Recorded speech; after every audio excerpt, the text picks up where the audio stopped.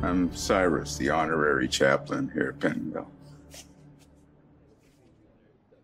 Philip O'Neill. I hadn't seen you at any of our services. I wanted to introduce myself and uh, see if there was anything I could do for you. Oh, I appreciate that. I think I'm good. I've just only recently become incarcerated here.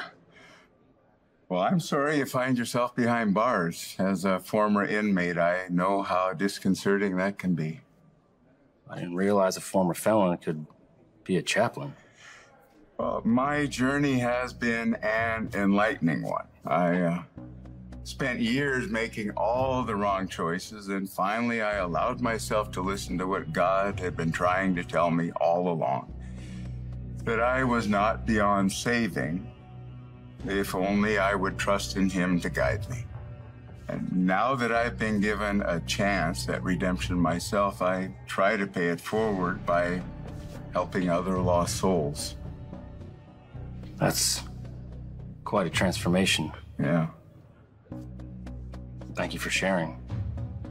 Well, it, it turns out this is my calling, helping others find a way forward when all seems lost. I can see something's troubling you, brother. Maybe I can help. When we confess our sins, we're not punished, but rather rewarded for having the courage to bare our souls. With penance and absolution, our conscience is freed and we're able to step forward with a clear heart. Starting without me?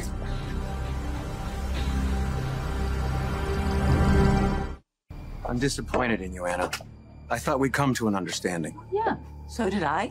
I don't think I'm violating that in any way. If you will excuse me, my detective and I are in the middle of an operation. One that was never cleared by me. Imagine my surprise when I'm informed that Philip O'Neill is not available for questioning tonight because he's at a religious service on your orders. Yes, well, I stand by my decision. And may I remind you that this is my jurisdiction, and O'Neill is a possible witness. So I am at liberty to conduct my investigation any way I choose. But you are not at liberty to keep the FBI in the dark. Which is why I'm shutting this operation down.